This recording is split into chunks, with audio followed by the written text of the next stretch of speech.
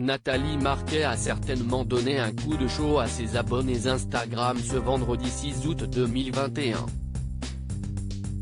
En vacances en famille, elle n'a pas décidé de se mettre en avant, elle qui a toujours une silhouette athlétique à 54 ans, puisqu'elle a préféré relayer une photo de son fils Tom, 17 ans. Via la story de sa célèbre maman, l'adolescent a été immortalisé en maillot de bain et torse nu sur un rocher, en train de parfaire son bronzage. L'occasion alors de constater que Tom entretient une forme physique olympique, avec des abdos saillants, voire diaporama. De quoi faire des jaloux. Mon amour de fils, a commenté avec fierté notre Miss France 1987.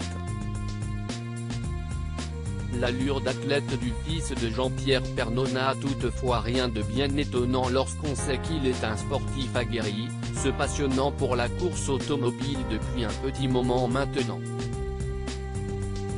Il a même d'or et déjà remporté plusieurs trophées, notamment lors du trophée Andros, championnat automobile de type rallycross sur glace, disputé en France depuis 1990. Cette passion, Tom la partage avec plusieurs membres de sa famille, à commencer par son père et son demi-frère Olivier.